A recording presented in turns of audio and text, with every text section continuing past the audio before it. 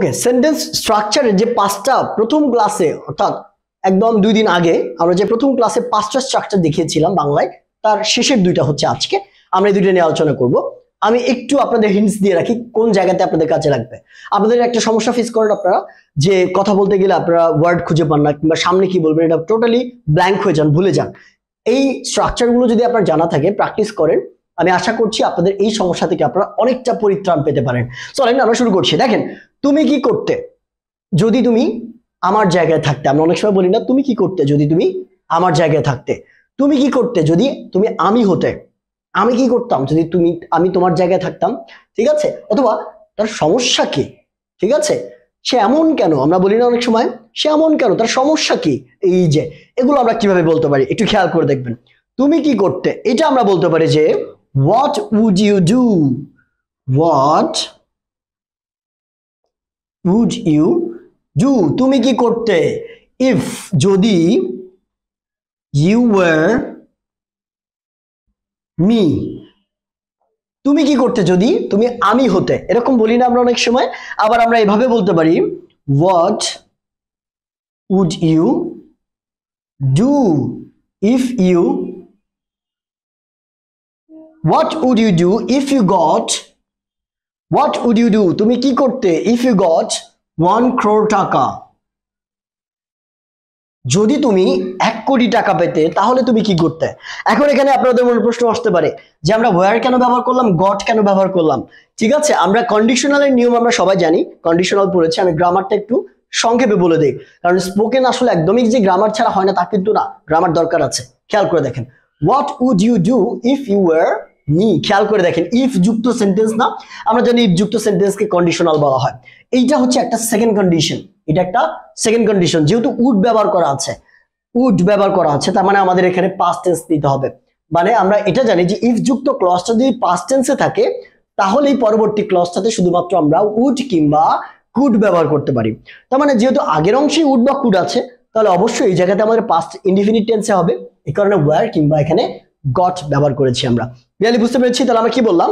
What would you do if you were me what would you do if you got one crore taka? ঠিক আছে? এবার পরবর্তী জায়গাতে দেখি, তার সমস্যা কি? ঠিক আছে? তোমার গাড়ির কি সমস্যা? ঠিক আছে? তাহলে আমরা কীভাবে বলতে পারি এটা? What's wrong with you what's wrong with you তোমার সমস্যা কি? কিংবা what's wrong with your car what's wrong with your car? তোমার গাড়ির কি সমস্যা? তোমার গাড়ির কি সমস্যা? What's wrong with your mood? তোমার মুডের কি সমস্যা? What's wrong? কি সমস্যা? What's wrong? শুধু এইটুকু দিয়েও আপনি কিন্তু বলতে পারেন, কি সমস্যা? তার তার মানে আপনি কিন্তু ওয়ার্ডস রং দিয়ে অনেক ধরনের বাক্য মেক করতে পারেন। শুধুমাত্র এই জায়গাটা ঠিক রেখে বাকিগুলো শুধু পরিবর্তন করে দেবেন। এই এই জায়গাটুকু পরিবর্তন করে দিলে কিন্তু আপনার বাক্যগুলোর অর্থগুলো কমপ্লিটলি চেঞ্জ হয়ে যাবে। ঠিক আছে? What's wrong with the weather আজকে আবহাওয়ার কি সমস্যা? What's wrong with the electricity ঠিক আছে? আমাদের এখন ঘন ঘন কারেন্ট যাচ্ছে না লোডশেডিং হচ্ছে।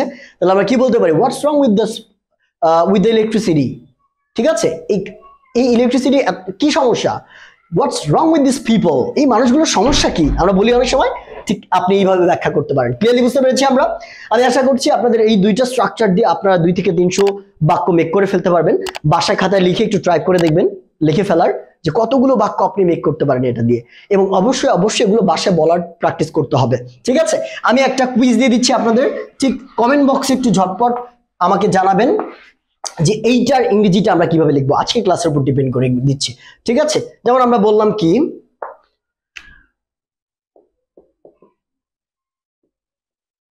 আমার যদি আমার যদি পঞ্চাশটা বাড়ি থাকতো, তাহলে আচ্ছা আমার না দিয়ে তোমার বলি না তোমার যদি, তাহলে প্রশ্ন করতে সুবিধা হবে।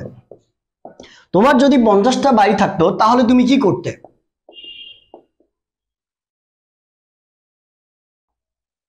ঠিক আছে, এটা হচ্ছে আপনাদের কুইজ আজকের কুইজ এটা ঝটপট একটু কমেন্ট বক্সে লিখে ফেলেন যে আপনারা এটা পারবেন কিনা, ঠিক আছে?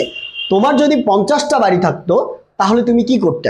ঠিক আছে? কমেন্ট বক্সে আপনাদের নিজেদের মতো করে কি? খুব সুন্দর করে ট্রান্সলেট করে ফেলেন। এবং যদি পারেন, এটা উত্তরটাও দিয়ে ফেলবেন। ঠিক আছে? সো আমরা আজকের মতো বিদায় নিচ্ছি। ইনশাআল্লাহ, এরকম স্ট্রাকচারের আরও ভিডিওতে আপনাদের সাথে দেখা হবে। ততক্ষণ পর্যন্ত ভালো থাকুন আর অবশ্যই অবশ্যই আমাদের পেজটাকে ফলো দিয়ে রাখতে হবে। আর আপনি যদি ইউটিউব থেকে দেখেন, তাহলে অবশ্যই কিন্তু সাবস্ক্রাইব করে দিয়ে রাখতে হবে। ঠিক আছে? দেখা হবে।